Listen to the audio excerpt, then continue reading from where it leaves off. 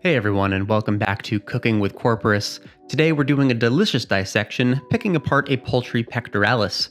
This is a meat only dish, so you'll get to piss off your vegan friends and learn anatomy in the same recipe. The best use of a Wednesday afternoon I could think of. Start by putting your specimen in the pot, submerging it in about an inch of water, bring that bad boy to a boil, then back off for about 15 minutes. Plenty of time to subscribe to Corporis. Take your specimen out and onto the cutting board. We'll cut up some workable cross sections for now.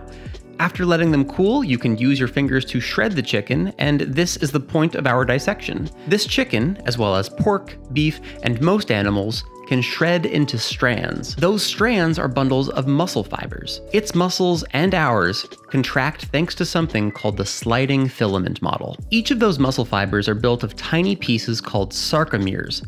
Sarco for flesh, mere for part, literally part of the flesh.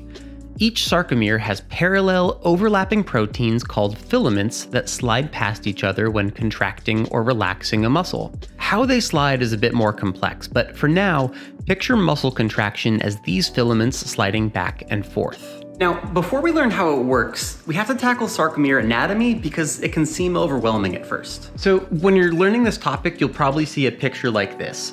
Something along the lines of here's a macro muscle, here's a bundle of muscle fibers, here's an individual muscle fiber, and then a little myofibril hanging off.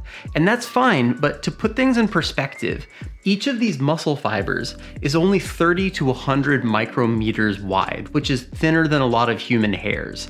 And each of these myofibrils is 1 to 3 micrometers wide.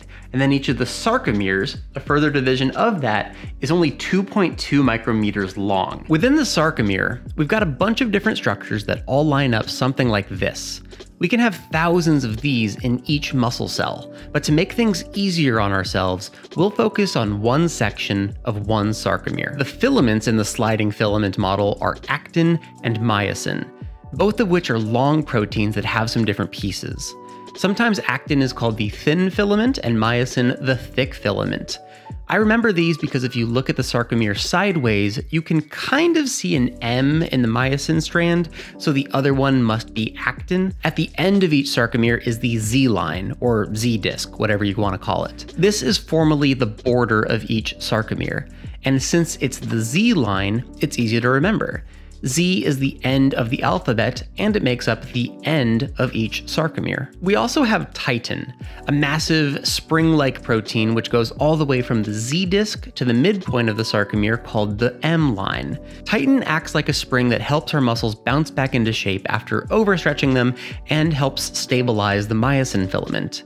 To help regulate actin, we have nebulin, which gives some structure for the actin filament to attach to. This structure lines up with three distinct zones that scientists see when they look at sarcomeres under a microscope. The I zone, which extends from myosin to myosin across two different sarcomeres, so it only has actin in it the A band, which runs the length of the myosin filament but overlaps on some actin, and the H zone, which spans the middle of a sarcomere so it only has myosin in it. Now, that can get kind of confusing, so I want you to remember artificial intelligence and ham. There's mostly actin in the I zone, while the H zone and A band are mostly myosin.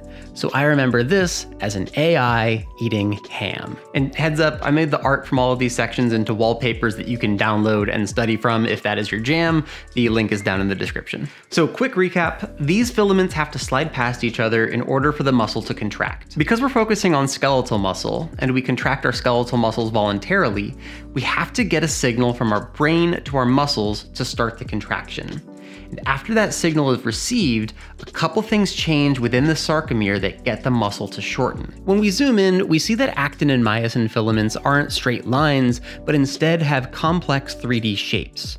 When you contract your muscle, myosin attaches itself to actin, forming something called a cross bridge. It's not a straight bridge, it doesn't take the shortest route from point A to point B, it crosses kind of diagonally so it can fling the filament forward. That grab and pull is called a power stroke.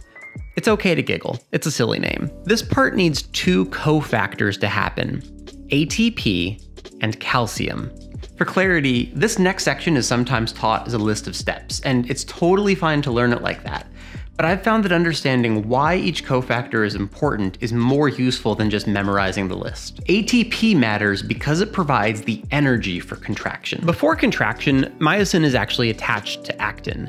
If an ATP molecule shows up, myosin will let go of actin. We're going to break that ATP into ADP plus phosphate, which releases energy and gets that myosin head to tweak itself into the forward position. Its oar is hovering above the water for the power stroke, so to speak. Then, when the phosphate and ADP actually separate, that lets the myosin head change shape and stroke forward. It's rowing at this point. If your body had no ATP to use, like say when you die, then myosin would actually stay attached to actin and your muscles would be perpetually stiff. And that's a thing that totally happens. It's called rigor mortis. Calcium comes in when we look more closely at actin. If we zoom in on the filaments, we'll see molecules on the actin strand called tropomyosin and troponin.